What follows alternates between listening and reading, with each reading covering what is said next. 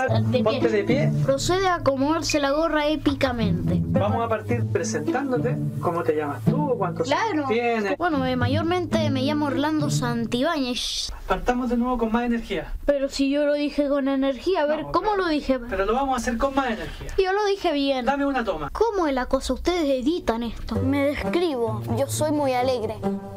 Nada, que pensaron que era triste. No, señores. Nivel de inglés alto. ¿Cómo se dice amarillo en inglés? Yellow. Úselo en una oración. Tráigame un vaso de agua con yellow. Chiste malísimo. Aplaudan ustedes, aplaudan. Yo nací en La Serena, vivo en Coquimbo desde que nací mayormente. Mi padre es chileno, mi madre argentina. Mi madre es de la ciudad de Mendoza.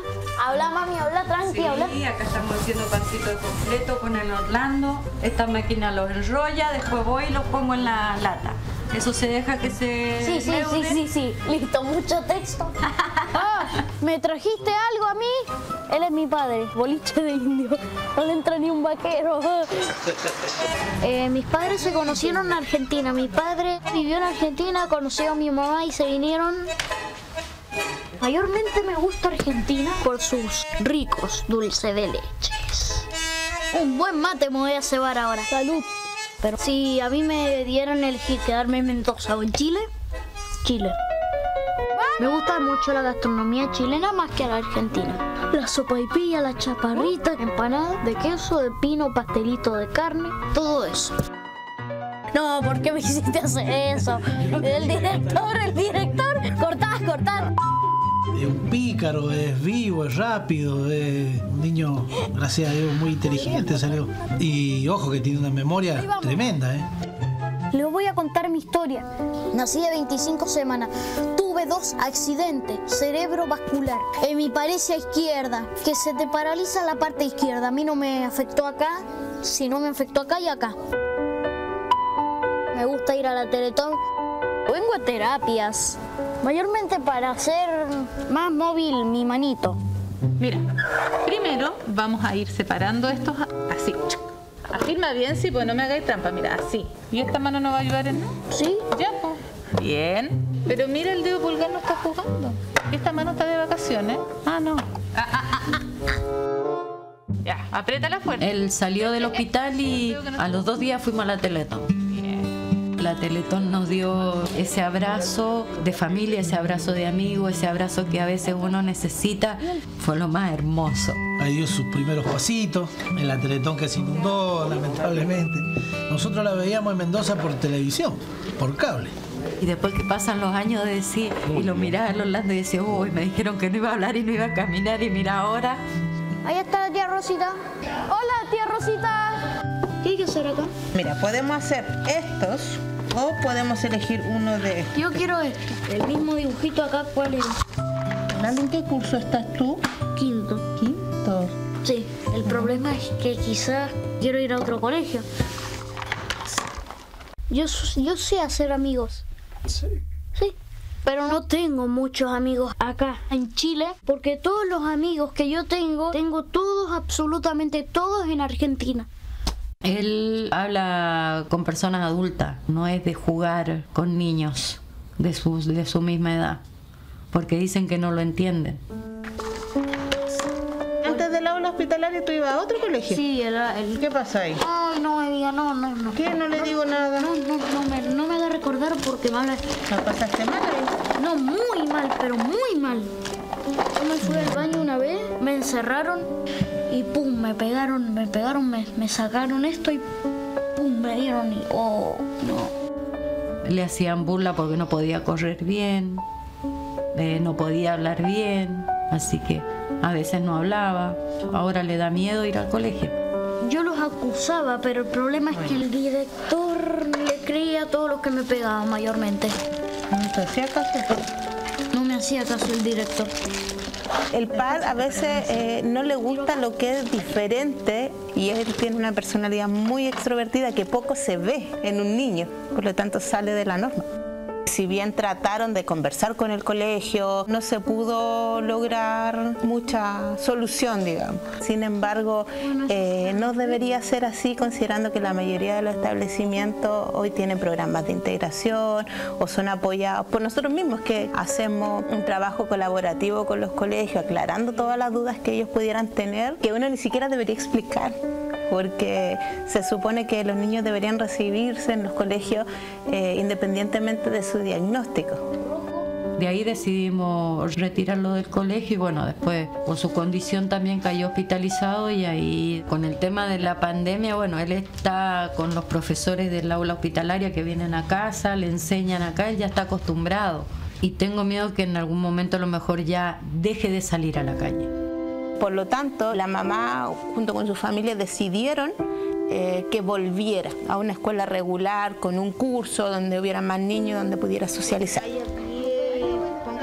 Cada vez que un usuario ingresa a un colegio, nosotros hacemos y ofrecemos hacer como apoyo a los cursos, al colegio, en charlas de sensibilización y todo eso, para que los colegios se sientan como apoyados o respaldados un poco para sacar un poco los prejuicios y los miedos. También ellos van a acompañar al Orlando en el primer proceso de cómo reintegrarse, de contenerlo, de, de saber que estamos ahí por cualquier cosa que él nos necesite. El primer día que vine al colegio no sabría lo que iba a pasar, no sabría si iba a ser amigos. Orlando tiene una personalidad, él llegó el primer día canchero, presentándose, hola, mi nombre es Orlando, dándome la mano. Cuando llegó como a la, la Lombia, lo fuimos integrando al curso, se fue haciendo amigos. Al comienzo les costó un poco incluirlo dentro de su juego, pensaban que se podía caer, pensaban que se podía fracturar. Poco a poco han ido conociendo a Orlando y ya esos miedos quedaron atrás. Es como un amigo para mí, a mí me cae súper bien, es tranquilo, un buen chico. Muy inteligente, tengo que admitirlo, me ha sorprendido. Tiene mucha carisma, se dice. Es buen compañero, nos cae bien.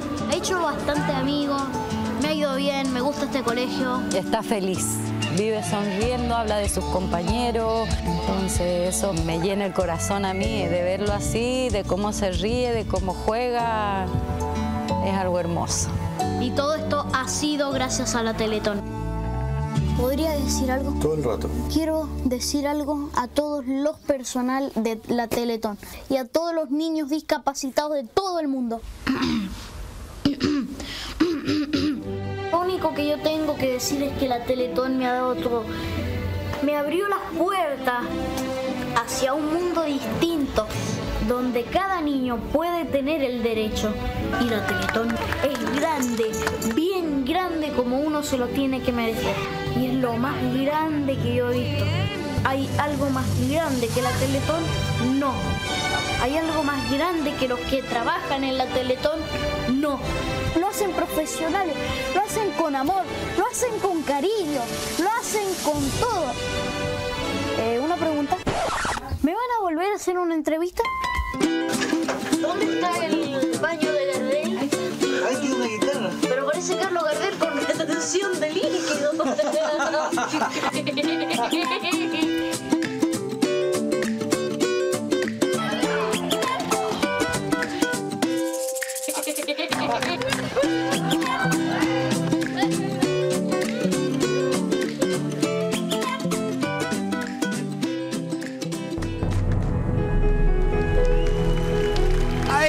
Orlando. Orlando. Mira, mira cómo te aplaude el público. Mira, mira, mira cómo te aplauden todos. Con tus palabras tan lindas que dijiste. Saluda al público, saluda a todo Chile, Orlando. También nos están mirando en Argentina. Eh, es muy emocionante. Mientras mirábamos la nota, tu mamá se le caían las lágrimas de emoción. Tu papá también. Quiero darte la bienvenida Elena, Arturo. Y también eh, a la educadora, a Rosa, educadora de Teletón. Todos muy emocionados. ¿Qué te pasó cuando viste la nota? ¿Qué, ¿Por qué te vino tanta emoción también ahora a ti? Eh, la verdad por eh, quizás todo, pero solo voy a decir eh, algunas partes fueron raras de esa nota. raras. Algunas partes Eh, fue una nota tremenda, pero cuando vi la nota, que la estoy viendo ahora, fue una no, fue una no- algunas partes raras. Oye, Y fue una nota eh, tú me dijiste que era como estar en como vivir un sueño, estar sentado acá. Eh, y hablaste muy bien de la Teletón. ¿Por qué ha sido la Teletón tan importante para ti? Eh, me gusta la Teletón y es importante para mí. ¿Por qué ha sido tan importante? ¿Qué, qué ha significado? ¿Qué es lo que haces tú cuando vas a la Teletón? Yo, la verdad, voy a contar que yo estuve desde que nací en la Teletón, obviamente. Ahí lo contaron y por eso para mí es importante. te hacen trabajar mucho con tu bracito. Eh, y, y vas con tu mamá, Sí, están los mamá. terapeutas. Y la verdad es que has ido avanzando mucho. Y yo miraba a tu mamá y tu mamá estaba muy emocionada. Buenas noches. Porque le dieron la noticia en octubre y lloramos. Lloramos. Es impresionante. Y es todo impresionante. Es como vivir un sueño. Es como vivir un sueño. Y tu mamá miraba la nota y te quiero preguntar por qué, por qué te emocionaste tanto. ¿Viste el proceso completo de tu hijo? Y me imagino también empezaste a recordar todos los días, todas las actividades, cada una de las terapias que se ha hecho en la Teletón. Cuéntame un poquito qué ha significado para ti. Eh, ver ahora eh, resumido Sí. es recordar a lo mejor todo lo que, lo que hemos pasado con él. Pero los día a día en la Teletón A ver. son maravillosos. Yo, yo les agradezco enormemente lo que han hecho por Orlando y lo que siguen haciendo por él. Estoy más que agradecida. ¿Qué ha significado la vuelta al colegio de tu hijo? ¿Qué ha significado para ti como mamá?